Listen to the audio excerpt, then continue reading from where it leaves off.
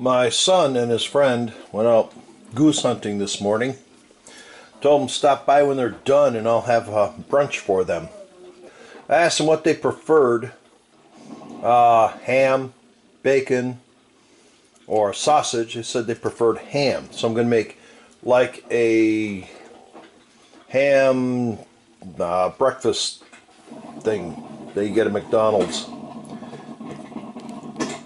Here's the slice of ham.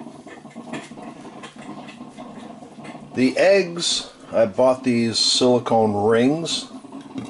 The eggs will be cooked in those rings. Here are the eggs ready to be poured in. There are two eggs in each container. Whip them up just a little bit to break up the yolk. They will have their choice of croissant, English muffin, or bagel because they're hungry growing boys. Okay, to make Egg McMuffin or croissant or whatever you want to call it, uh, you can use bagel, English muffin, or croissants. You toast them up. Here's how to make the ham. You need a form of some kind to cut a nice circle out. I'll show you. I just use that as a form cut a round circle around it so I get a shape that I want. Cut it out into a circle, then heat it up in a frying pan over medium, medium high heat.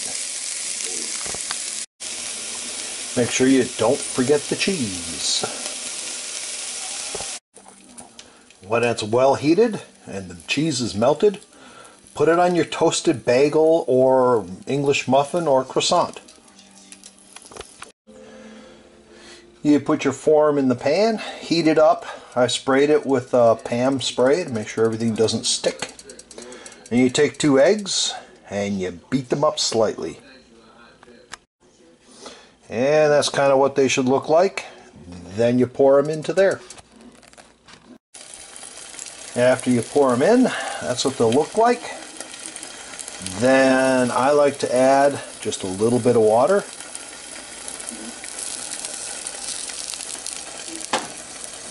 For a steam effect. And then cover it.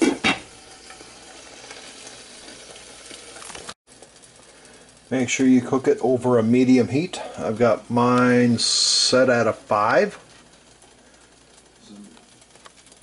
And Got the water in there so the steam is helping cook it. Uh, hint, if you're making sunny side up eggs, you can make sunny side up eggs the same way. Put them in the pan, into your skillet, add a little bit of water and cover it. The water helps cook the top. When I'm cooking like this, I prefer to use a lid that I can see through. I just shake it a little bit like this, and if I see the center of the egg jiggle, I know it's not done. If you take the lid off, you lose the heat in your steam, it stops cooking. Uh, the phrase that I've heard used is, if you're looking, you're not cooking. Okay. Uh, as you can see, it spilled over a little bit, but that's no big deal.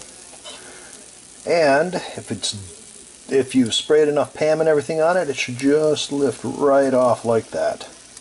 Then you put that onto your uh, Egg McMuffin. And there you go one huge ham and egg McMuffin. Enjoy!